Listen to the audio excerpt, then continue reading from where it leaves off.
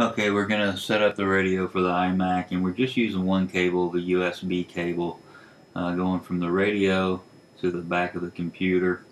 And uh, we're going to set it up so we can use RUMLog NG. And I'll show you what has changed. I'm going to hit menu and set and then connectors. And all of this is pretty much the same. I had to change the output level on uh, one of them. Uh, but what has changed is the CIV. Go down to the third screen, touch CIV, and uh, what has changed is the uh, link. And uh, normally it, it, was like this on the Windows computer. Uh, we want to hit that and then click unlink from remote and the baud rate set to 115.2. Uh, the echo back is turned off. I noticed with uh, MacLogger DX, uh, I think I had to turn it on to get the rig control to work right. But for RUMLog NG, uh, that's the way it's set. Now we'll go over to the software and get it running. Oh, okay, I just did a perfect take on this one, but I recorded it in a FLV format and the Mac doesn't open up the FLV format. So I'll start over again. This is the uh, the iMac that I bought off of eBay. Got it for under $200. It's got a bad LCD. There's a line down, a thin blue line, and uh, I don't know if you can see it. It uh, it doesn't really affect too much. I can replace the LCD for about a hundred bucks but uh, not too bad a shape. I really like it. I've been uh, playing around with it. It came loaded with uh, the operating system Sierra, and uh, right off the bat I noticed something that was a little bit odd. When I went to Finder and I was looking under devices, it had the hard drive here, the Macintosh uh, hard drive, and it said MacBook Pro. So uh, evidently the MacBook Pro image was loaded on here. I don't know a lot about Macs, but it just seemed a little bit odd. So I, I downloaded Sierra from the uh, App Store, put it on a USB drive, made it bootable, and then uh, did a fresh install of Sierra, and this is what I got. And I already downloaded a couple of programs, but uh, we want to get the ICOM 7300 uh, working, and to do that we need to download the uh, USB driver first. And I already have the cable connected to the, the iMac and the radio powered on. Yeah, it didn't affect it uh, when I installed the, uh, the USB driver. Uh, and then I installed uh, RUMLog NG and it connected right up. So uh, let me show you how to do that. I've got a couple of shortcuts on my desktop just to save time. And I'm going to minimize this first place we, you want to go is uh, the uh, the USB driver and I think uh, when I do that I've got a shortcut here. And yeah you do have to double click on it. So the Mac's a little bit different. Uh, one of the things you'll notice is the mouse scrolling. At least with this mouse it's opposite of a Windows computer and I seem to remember that. Anyway, go to this web page and here's the uh, download link for it. You just click on it once and it will start to download and uh, that's pretty quick.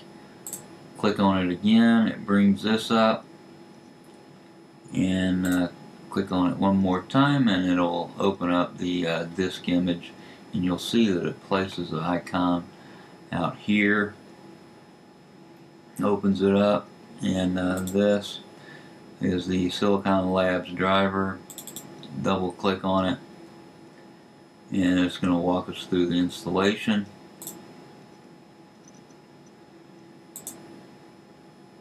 And just keep clicking continue. And it didn't take up much space at all. It asked me for my password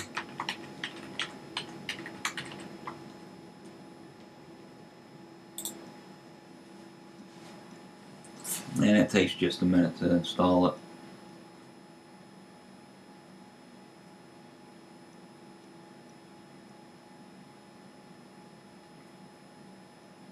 I really like uh, using this. This the screen is really nice. The monitor, uh, the resolution is fantastic. It's uh, it's pretty high resolution right now.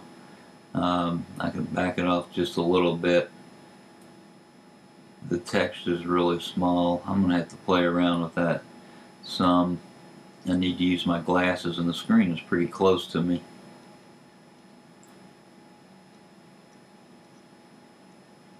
Alright, it's been installed. I can click close.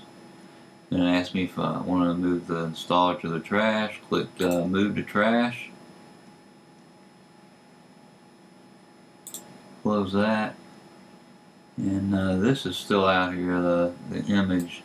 I'm going to drag that down to the trash. So there you go. The next thing we want to do is uh, install RUMLog next gener next generation there's the link for it and uh, this is the website I'll put the links below just click on that once and it'll start to download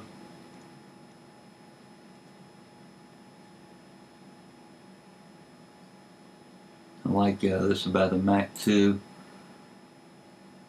Shows me what I got going on today on my calendar. Nothing today. RTTY contest is on. Got the stocks, got some weather in here. That's kind of nice. Shows me notifications. Somebody posted in the uh, Facebook page, the Icom 7300. Anyway, that downloads. Click on it, and there's a RUMLog NG. After you download RUMLog, it shows up down here but it's in the downloads folder and what I want to do is drag it over to the applications and put it in there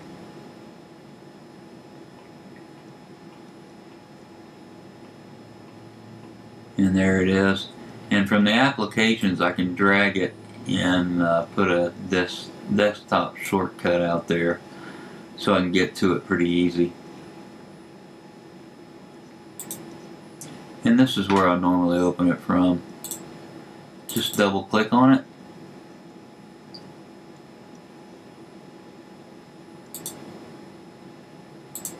And there you have it. Uh, let me go ahead and show you what I did. Go over here and then go to preferences. And it's real simple.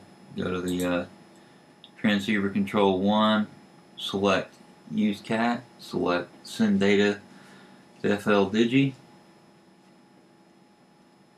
manufacturer's Icom, and the 7300, there's a 7300, there's a 7300 control, we use the control, interface is serial, push to talk RTS line, and I left this alone for now.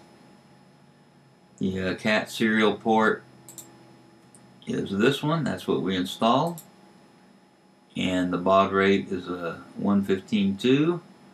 And I'll show you how I set that up on the radio. And this is left the same, the same. You click close, and as soon as you click close, you'll see the uh, read control come up. And uh, this is a real nice clean interface.